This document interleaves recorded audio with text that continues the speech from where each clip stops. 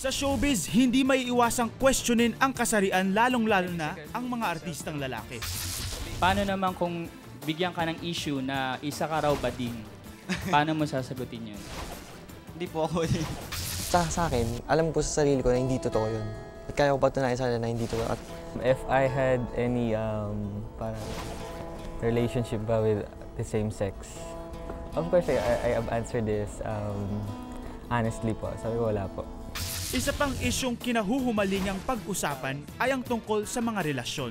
In nakipag-break daw sa'yo yung girlfriend mo dahil wala ka na raw time sa kanya. How true? Opo.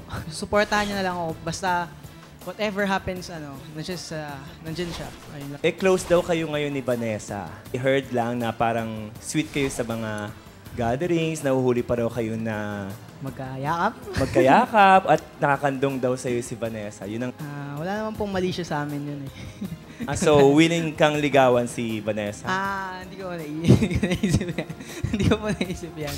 Sinong gusto mong makalove team sa Pitong Boys and why? Sige yan po. Why? If ever na kami po yung maging love team, parang kaya ko po dali ng maayos. Advantage ba na magkaroon ng love team at yung love team na yon ah, totoong nagla-love sa tunay na buhay? Opo. Kasi kapag totoo po yung feelings nyo sa isa't isa, makikita po ng tao na totoo po yung sa TV. TV man po or in true life. Yun po. Totoo ba? Ay, hindi po. friends kami ni, ni Rhea, ganun.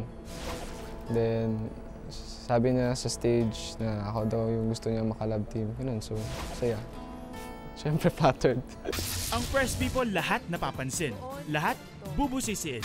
Ah, ano ang meron sa isang taga Mountain Province para maging starstruck survivor? Ah, unique po magkaroon sa showbiz ng ng taga doon. Wala pa pong wala pa po akong nakikitang mga kababayan kong nandito. nag-workshop ka at pumirma ng kontrata sa ibang istasyon, sa kabilang istasyon. Totoo ba yon? Nag-workshop po ako sa kabilang station pero um, hindi na po nag-renew ng contract. So.